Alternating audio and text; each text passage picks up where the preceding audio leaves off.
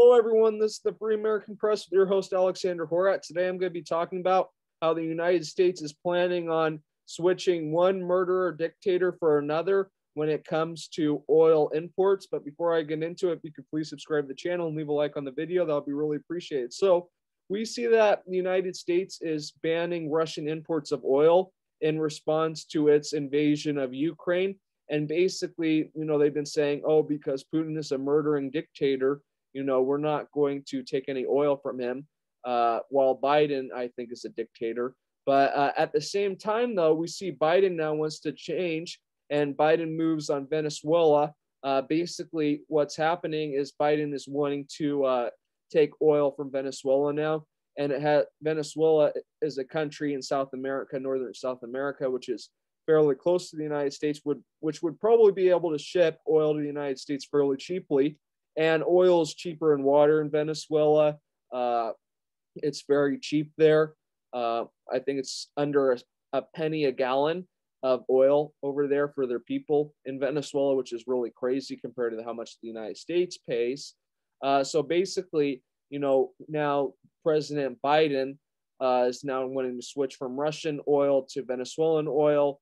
Uh, he has actually gotten rid of a lot of the Venezuelan sanctions as he put on the sanctions on Russia, which don't make any sense at all because Venezuela is supposed to be one of Russia's key allies in the region and um, doesn't make any sense at all because Maduro is a thief. You know, he stole money from millions of people, uh, and Hugo Chavez did as well. His daughter is the richest woman in the world now, uh, basically because they stole the people of Venezuela's money through inflation. So it's crazy that you know the United States would change from one murdering dictator to another in their eyes. But I can kind of understand it because I think Joe Biden is a dictator and he's doing a lot of very nefarious things, to put it lightly. So I think this is more just um, you know basically political dealings, this war with Russia, and you know getting stopping the oil imports from Russia into the United States. It's more of you know political theater because he's at the same time trying to get oil from Venezuela, which is crazy. As I've shown in another video, America is energy independent, that we can actually produce a lot of oil by ourselves, you know, homegrown oil. We don't need all these other countries to produce oil for us. Uh, so that's really kind of my two cents. And now that's actually became a flashpoint in uh, Florida's elections, uh, basically because a lot of Venezuelans live in Florida. And uh, basically this is kind of a slap in the face for a lot of people, a lot of Latinos in Florida. Uh, so that's causing some problems for the dumber rats in Florida right now.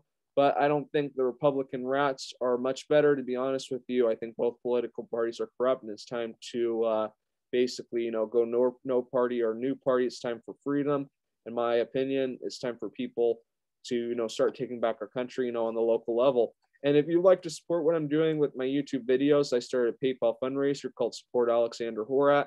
Uh, by donating, you are helping me continuing getting the word out on how our freedoms are being taken away and how we can stop that. And I really thank you for your support if you do donate to that. And I really have a big thank you to uh, Carl Rice.